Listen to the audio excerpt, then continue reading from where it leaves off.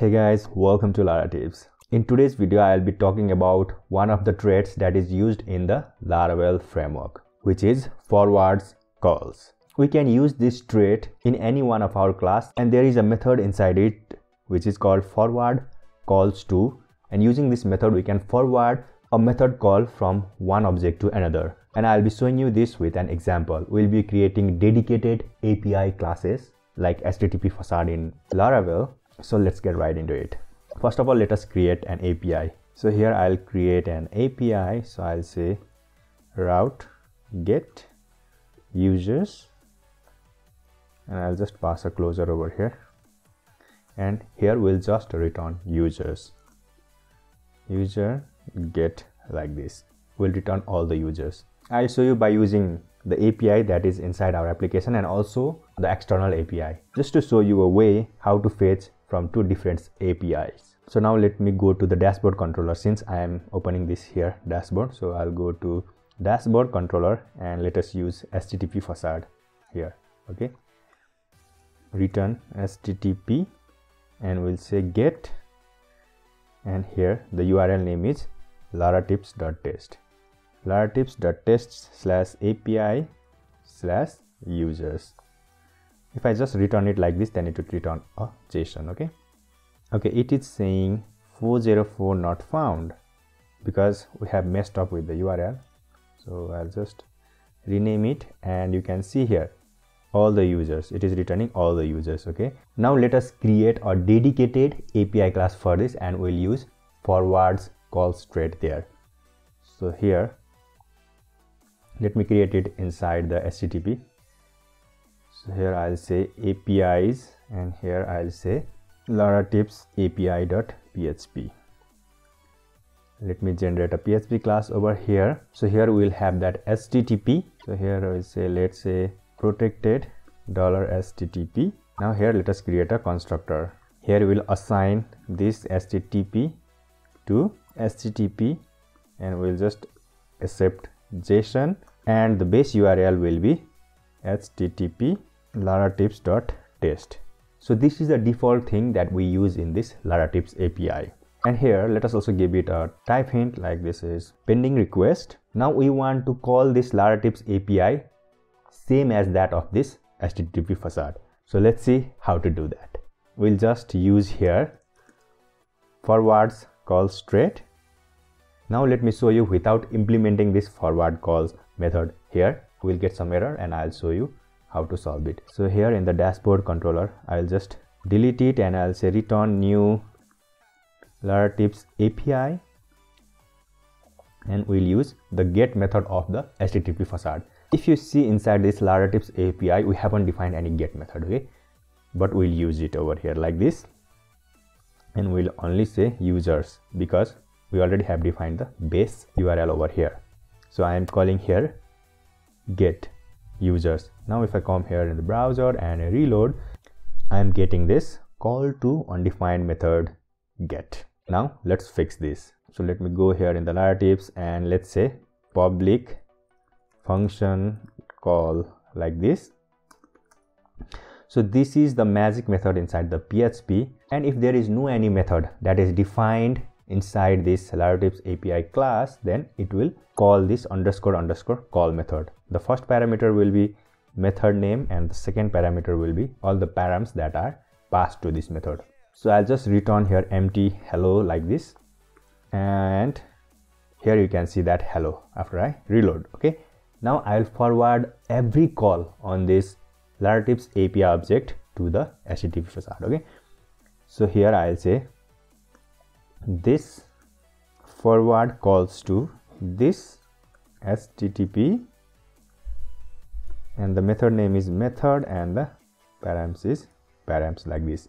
Now whenever we call any method that is not present in this laratips api will get forwarded to this http facade which means that whenever i call get on this laratips api it will call get method on this http now if i come here in the browser and again reload and here we are seeing again the not found error because I forgot to write here slash API like this. Our base URL will include the API now if I come here and reload you can see all the users list over here like this. And you can see here it looks pretty clean. And in the controller we just have to call the laratips api arrow get so this is the main functionality of this forwards calls trait. And this is all about the forwards calls trait and if you want to learn one more thing about the OOP then just stick around. I'll create one more API and there will be some duplicate code over here and I'll refactor those. And and you might learn new thing on how to handle this kind of duplicates. So let's do that now. Let me open here in the browser. So here is a fake store api and we can use this to call some fake apis so here is the resources that we can call and we'll only call the products. So let me just go here inside the docs and we can call the products like this. So let us create a fake store api class.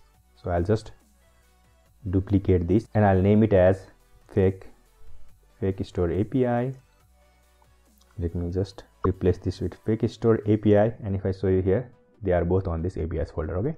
They all have the same thing over here. Now instead of this laratips.test slash api i'll just replace this url with the base url so currently here the base url is this. And every other thing is same. They are duplicate. Now let me go here in the dashboard controller and here i'll just return new fake store api and here i'll just get products like this. Now here in the browser i am getting all the products from that fake api so here we'll see 20 products. But if you see here in the documentation we can limit like this. Just we can pass the parameters. And yes you can pass the parameters over here. All the methods that are present in the http facade are now available here. So we can pass the parameters here like this. So i'll say limit and i'll say let's say 2 now if i come here in the browser and refresh we are only getting true products. Okay now we have created two apis one is fake store api and another is laratips api let me go there and it is both inside this APIs folder.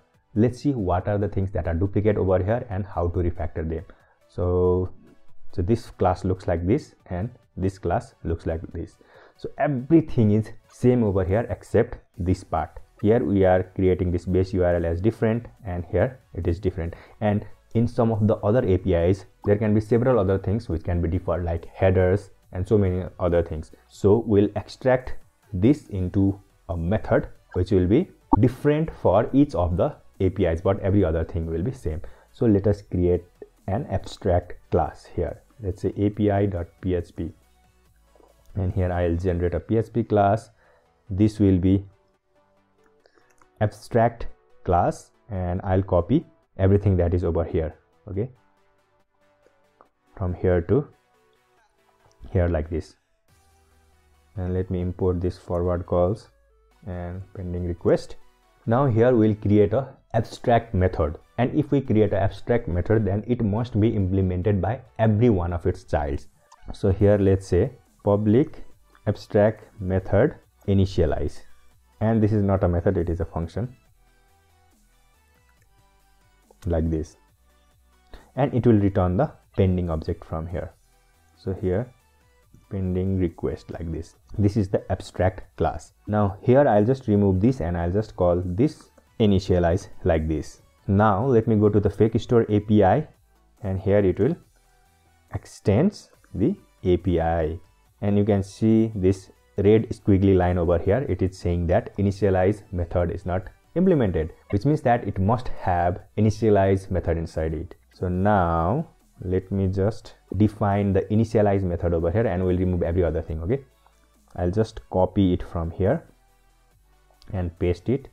And i'll remove this abstract from here. And i'll return this thing. This thing is only different in two classes so i'll just return it from here. I'll just delete these also.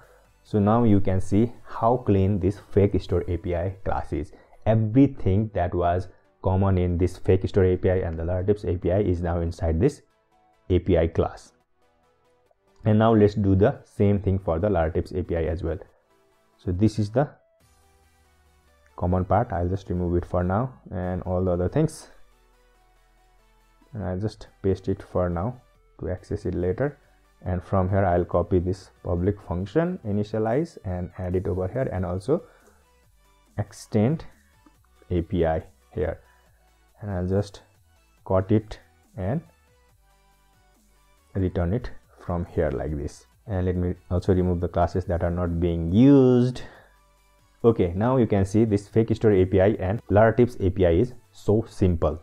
Now if i come here in the dashboard controller and let me just comment this for now let us just return whatever it was before the laratips api now here if i just reload then you can see here it is working the same way. So it is returning the laratips api users. And again if i just uncomment it and go in the browser and reload then it will return those two products. So in this way you can refactor whatever duplicate code is inside your project. And also the best thing is what i have shown you before which is the forwards call trait. And also in the coming videos i'll be showing you many other things that are hidden inside the laravel like forward call which can be very useful for us if we use it like this as you have seen here. So that's it for this video guys. Thank you for watching. Have a great day. Bye